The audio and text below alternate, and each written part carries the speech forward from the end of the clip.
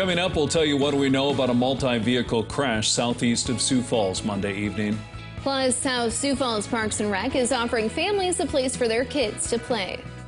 Good morning. This is KELOLAND on the go with all you need to know in news and weather as you start your day.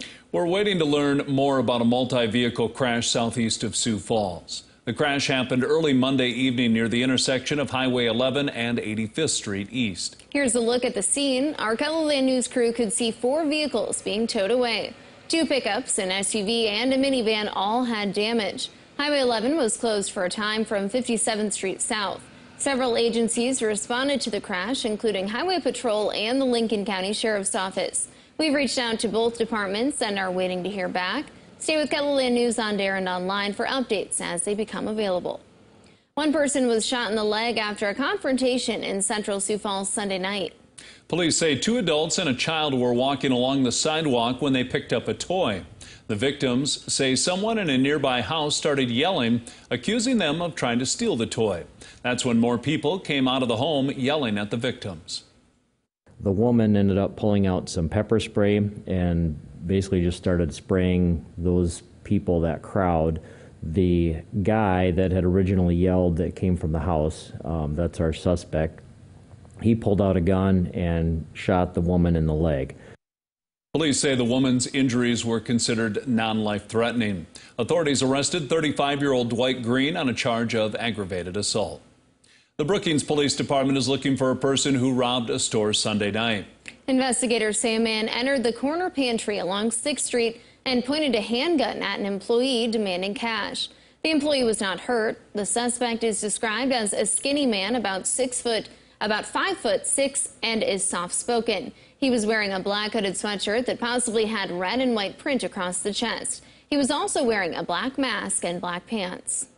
Turning to weather now, KELOLAND is seeing a break from our recent 90 plus degree temps to start the week. But how long will the break last? Let's find out with meteorologist Brian Karstens. Good morning, Brian. Yes, good morning. Well, it lasts just a little while longer, really, this morning. And then after that, we're already in the 80s this afternoon and hot tomorrow. That's the way it's looking. And as we bring up uh, our forecast, as we see those numbers in the 40s and 50s this morning, Quickly by midday, a lot of sunshine expected and temperatures here climbing through the 70s. I think that uh, by 3 o'clock in the afternoon, quite a few folks are in the lower to middle 80s. Now, you will notice there are a couple of thunderstorm cells that pop up in northwest Iowa.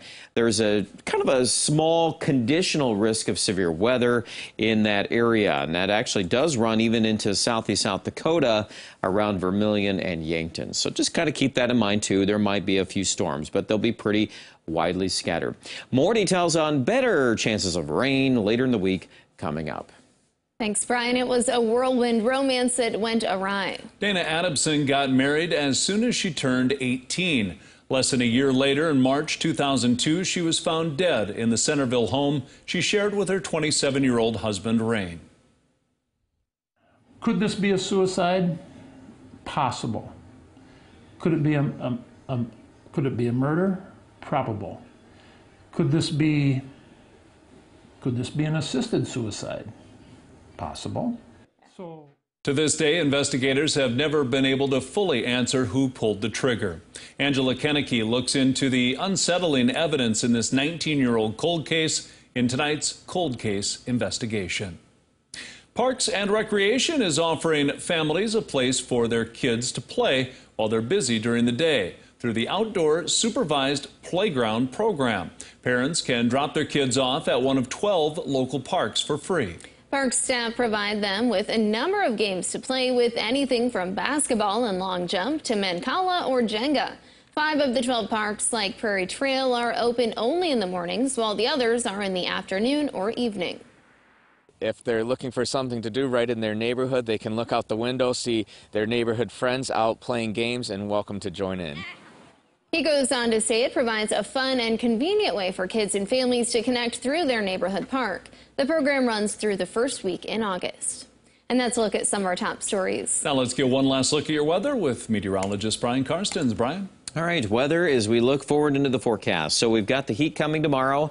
One thing I do want to share with you, though, is the, uh, the dew point, the moisture that's available for any future rain chances. So you're going to see tomorrow Dew points might come up a little bit in the morning in Sioux Falls, but even in the afternoon, that'll probably drop. We're forecasting 90 degree weather. By Thursday, of course, in 100s also, I need to mention that in Pierre tomorrow. But look at this. Thursday morning, there's actually a little more starch to the atmosphere, a little more humidity. Now, the question I have, and I think that's important to bring up this up, is how far north is that air mass going to go? It's encountering, you know, all this swath of severe drought here into uh, parts of southeast South Dakota. So it is not a done deal that the dew point's actually going to get up to 70. If it holds even in the mid 60s, I'd be pretty happy with that. I do think it lends itself to an opportunity to get some thunderstorms. Now, Futurecast from central Wisconsin into southern Minnesota, southeast South Dakota, and northern Nebraska tends to develop areas of showers and thunderstorms. You notice to the north, it's not nearly as much coverage. And so we're very careful about Brookings and Watertown and Aberdeen at this point initially. Now, let's see what happens going into Friday. There's a secondary wave that's coming in from the northwest. So, what that does is it tries to fill in a little rain back through central South Dakota. That's the most promising outlook we have on Futurecast. Now, the European model will differ with the American on that, so be careful as we look at Model 1, Model 2. This is the European version of that. And it collectively is suggesting an inch of rain in Sioux Falls. And that's not an outlier. It's not just one little piece of data. There's actually fairly good agreement of getting us close to that one inch level. And that's a huge piece of news. Uh, that doesn't happen, hasn't happened in a long time. Uh, let's again keep that in mind as we look at model number two. Now, this is still suggesting some amounts of an inch or more all fine and dandy if it happens. It's a drought year. Drought years can be tough to overcome these predictions. So, uh, a half an inch of rain, I think that seems like a reasonable bet. And if it gets to be more than that, that's all the better, right? As we look at the forecast, it's a kind of a one window deal again. It's a Thursday, late day into Friday, chance of rain. And then the temperature at least is not terribly hot. I think we're probably going to settle in the 80s for several days. So that's your good news. This Aberdeen forecast 101 on Wednesday. I know that's hot. 93 Thursday, 87 Friday. Again, chance of rain is around in that thir Friday, Thursday, Friday time period. Uh, we have more details to organize on that, so continue to watch for updates as we get a little more clarity on focus on where that's going to be lining up.